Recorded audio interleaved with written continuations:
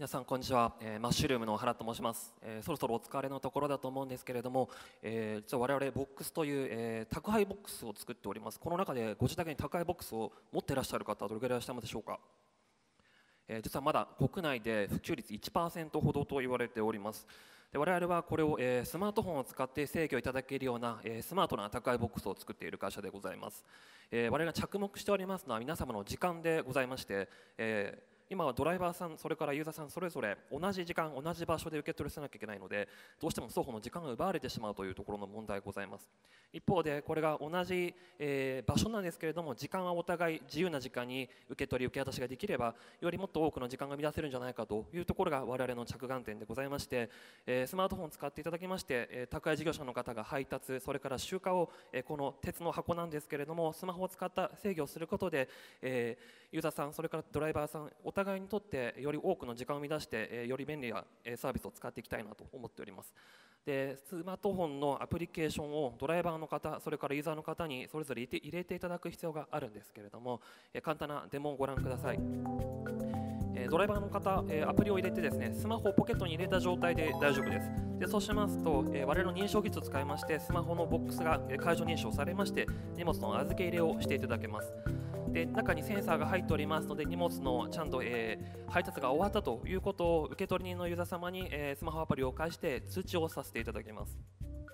でユーザーさん、えー、自宅に帰宅した時にももちろん自分の荷物が届いていることが分かりますし、えー、アプリをですね特に立ち上げないでポケットに入れた状態で実はボックスをですねボタンを押していただくだけで認証が行われまして、えー、荷物受け取りができます。でこの受け取りが終わったということもドライバー側の、えー、宅配事業者の会社の方にももちろん共有をさせていただくことができます。えこちらは我々の、え、宅配ボックスの、えサービスなんですけれども今の、えご覧いただいた流れの通りですね。実は、え配達がと今どういうステータスになっているのかというのを、えお互いの事業者で共有いただくので夏印の、え印鑑をいただかなくても、え電子的にそのレコードというのが保存できますし実は我々宅配ボックスでお預かりしている間に荷物が万が一盗まれたりとか破損した場合というのは全て保証をさせていただきます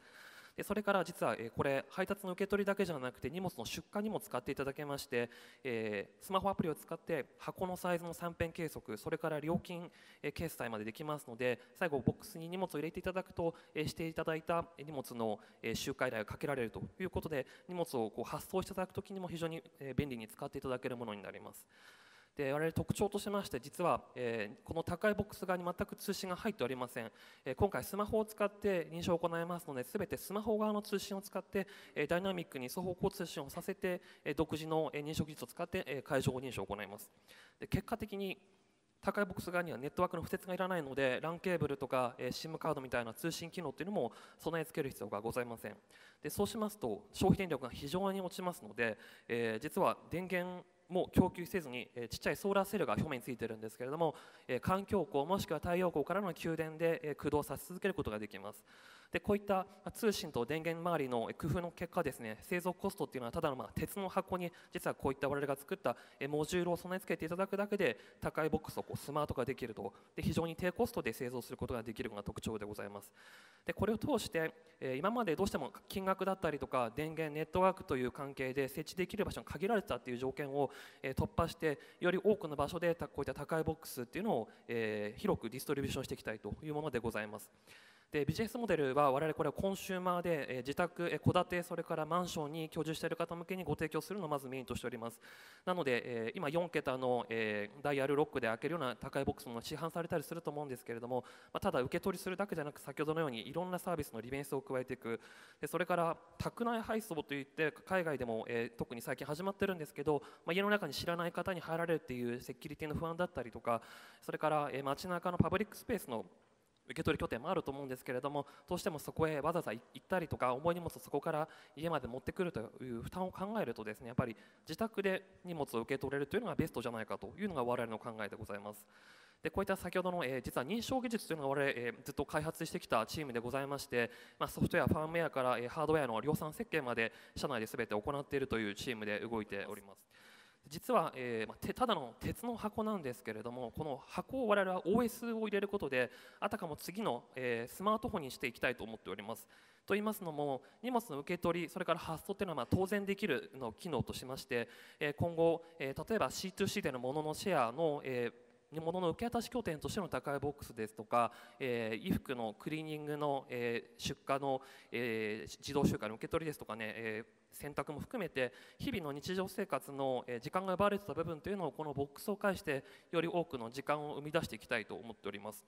でさらに、えー、横串で、えー、いろんなものを受け取ると思うんですけれども EC 事業者横断的にどこで何を買っているのかといった情報も我々の方で横断的に取れますのでそれを機械学習させると次この、えー、ご自宅に住んでいらっしゃる方は何を注文するのかというものを、えー、予測することができたりとかというのを考えておりまして、えー、実は、えー、まず月額の利用料をいただくというモデルからその後、えー、荷物の実は週間の決済の方でも我々収益いただきますし、えー、先ほどのアプリストアという形で、えー、高いクリーニングだったりとか、えー、いろんなサービス事業者さんにこのプラットフォームに相乗りをしていただいて利用手数料をいただくというモデルも考えております。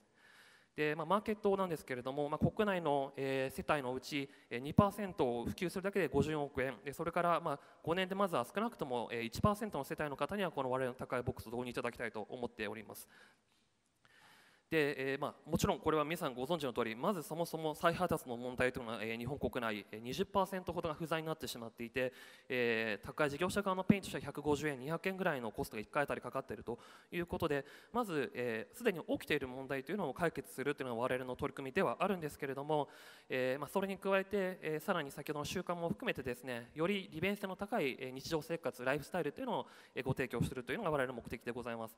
ですので、えーまあ、今回ここ登壇させていただいた目的の一つとしては、えー、いろんな事業会社様と一緒にパートリングをさせていただいてこの高いボックスにアプリケーションを乗っけるとどれぐらい豊かな生活が一緒に構築できるかというのを取り組みをさせていただければと思っております。どうもありがとうございました。